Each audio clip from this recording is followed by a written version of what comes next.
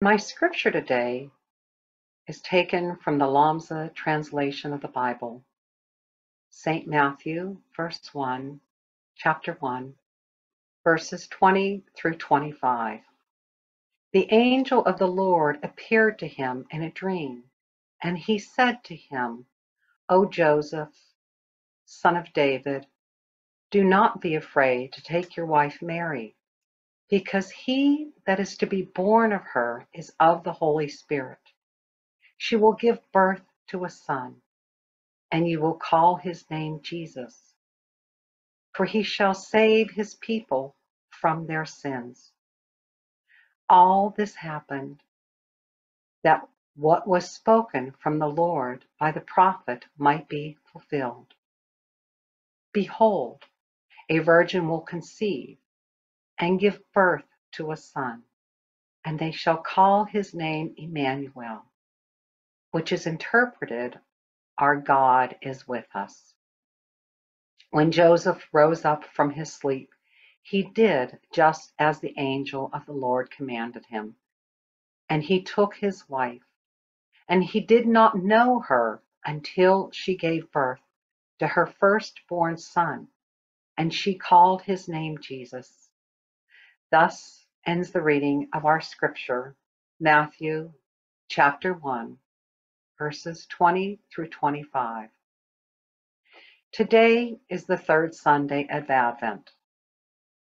Advent marks a period, a spiritual preparation leading up to Christmas, a time of preparing for the birth or the reawakening of our Christ consciousness. Each Sunday represents an aspect of our preparation hope, peace or faith, love, and joy. In some traditions, the third Sunday represents joy, and in others, such as the Unity Faith, it represents love. And for a moment, I got caught up in, well, which Sunday does this stand for, love or joy? Wanting to make sure I was correct. But then it occurred to me does it really matter which is first, second, or third? Or is what is most important that we awaken these aspects within us during our sacred journey. My sermon today will focus on love and joy. As I contemplated Advent, I was led to dive deeper into the metaphysical understanding of Mary and what Mary represents in this phase of our spiritual growth. In the phase of giving birth or awakening our Christ consciousness, we will take the spiritual journey with Mary to Bethlehem and understand what she symbolizes in each of us. Scripture says Mary was a virgin but yet she was with child. From a physical perspective, we look at this as being miraculous. How could a virgin conceive and be with child? Today, I'm going to ask you to look at this with me through the spiritual lens. Carrying a child represents the gestation period of new life, new ideas, a new consciousness. In this case, it is the gestation period of the Christ consciousness. With this new life, in the while this new life is in the womb, it is growing and it is being nourished until it is time to give birth to it. Mary was impregnated with a physical child. But I believe she was also impregnated with a spiritual child, the Christ consciousness in her. The child scripture speaks of was the man Jesus. But the spiritual child is the Christ consciousness of Mary, just as the child of the Christ consciousness is in each of us. This Christ consciousness is in every man, woman, and child, waiting, waiting and ready until we are ready to give birth to this new life. Mary has been venerated since the days of early Christianity as an, and is considered by millions to be the holiest and greatest saint. She is referred to many by many as Mother Mary.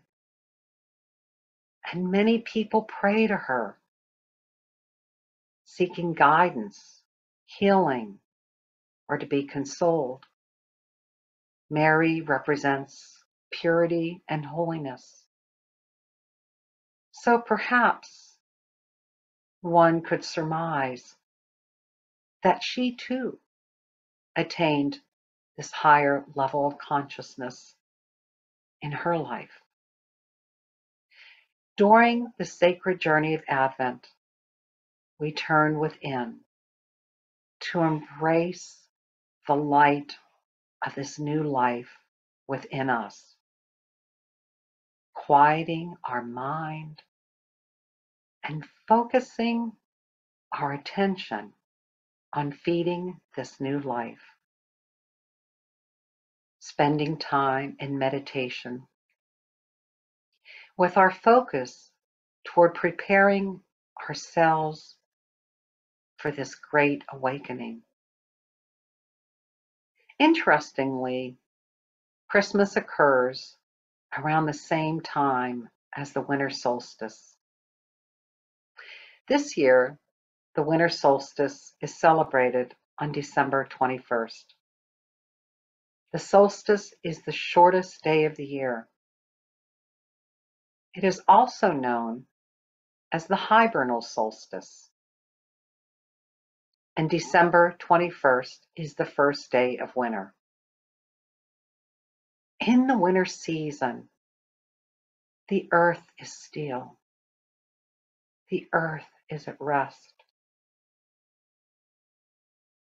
And as I was walking last week, it occurred to me this earth that we think of in the solstice represents our physical self. Not only is Mother Nature at rest, but it is also time for our physical body to rest, to find solitude, and become dormant so that the spiritual nature of our soul may replenish and renew itself. Let all the earth keep silence before him. Let all the earth or our physical self be still and renew itself in the peacefulness of this solitude. Hibernation is important for growth. Bears and other animals go into hibernation during the winter season, suspending all physical activity and allowing for this regeneration and rejuvenation to occur. And it is so important for our physical body to rest and allow our soul to be nourished and our spirit to be regenerated. Mary represents a phase of the soul. Through devotion, it is preparing itself for the higher life. the soul is continually seeking until it finds the truth and until it finds its allegiance with God, giving birth or awakening the Christ consciousness is the next step of our spiritual progression. Mary also represents divine motherhood of love and our intuition, the female, the feminine side of our nature, the purification of our soul, and our devotion to our spiritual unfoldment are necessary for this progression to occur. However, without the depths of the feeling quality of soul consciousness, without emotions such as love, life would be flavorless, like food without seasoning, a service rendered without the depth of love and feeling without the very substance of our being is empty. Our preparation includes feeding ourselves with divine love and awakening the divine love within us. Love is an integral part of our spiritual progression. We want to feel. We want to feel this raw emotion from the very depths of our soul. To embrace the love of God flowing to us and that is within us. To feel the warmth of this love through every fiber of our being and to radiate this love out into the world. Simply put, we want to be love. Awakening to the realization that we are divine love. We want to be love and sprinkle love in all that we do. The Christmas holiday is filled with traditions, some dating back to our childhood, some passed down through the generations. From the traditions of decorating the tree in our homes, giving gifts, or preparing savory foods and baked goods. And as we partake in these festivities, it is important to remember to sow love in all we do, to give from the heart. For it is when we give from the heart that these gifts and what we share has the most meaning.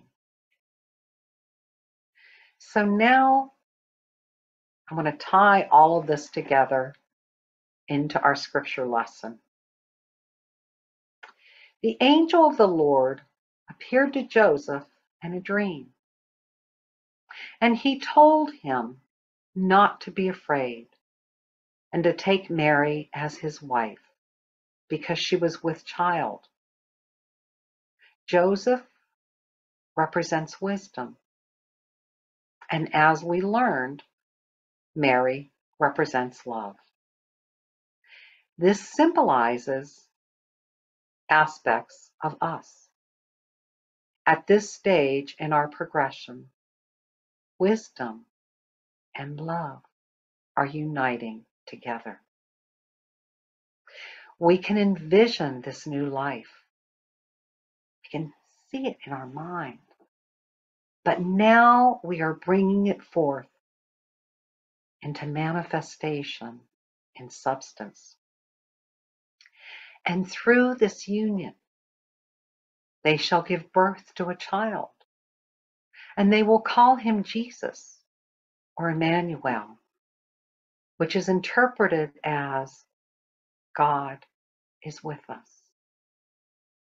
This new child, this new consciousness is our awareness that we are one with God.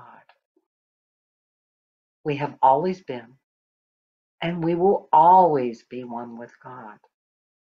The only difference is our awareness. Now we are fully awake to this realization.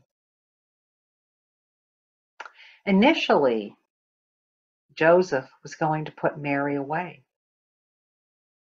This represents our hesitation in the early stages of the birth of the Christ because we may not fully understand the process. Perhaps we're not ready, or we may feel that we are undeserving. Sometimes it is a process, and it may be moved away from us until we are fully ready to embrace it.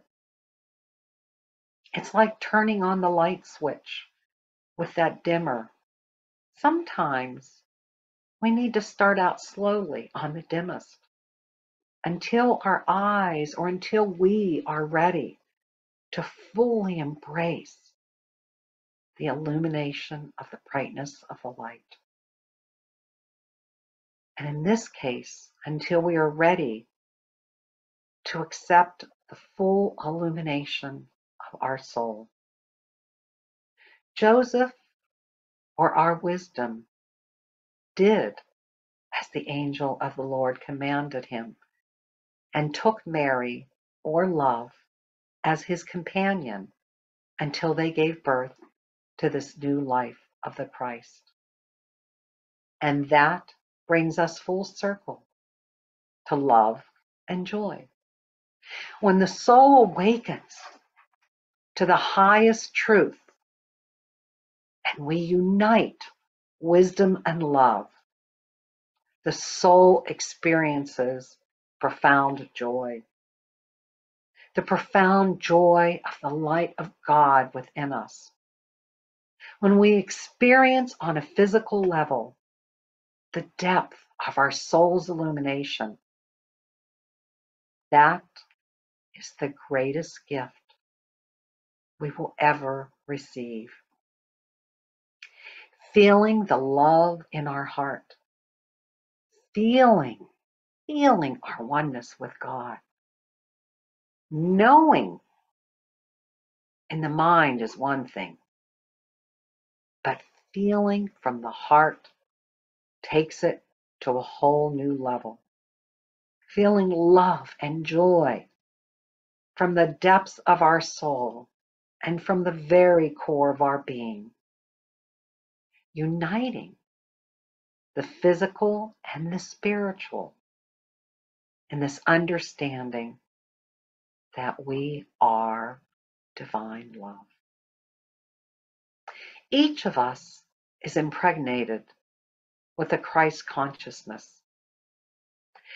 And it is up to us as to when we are ready to bring forth this new life. In the stillness, we hear the whispers of our soul calling to us, calling to us to awaken, preparing ourselves for this new life, and feeding the soul with spiritual food, feeding the soul with hope, faith, peace, love, and joy as we unite wisdom and love to give birth to the Christ within us. Many blessings to you as you prepare yourselves to awaken on your spiritual journey during the season of Advent. Namaste.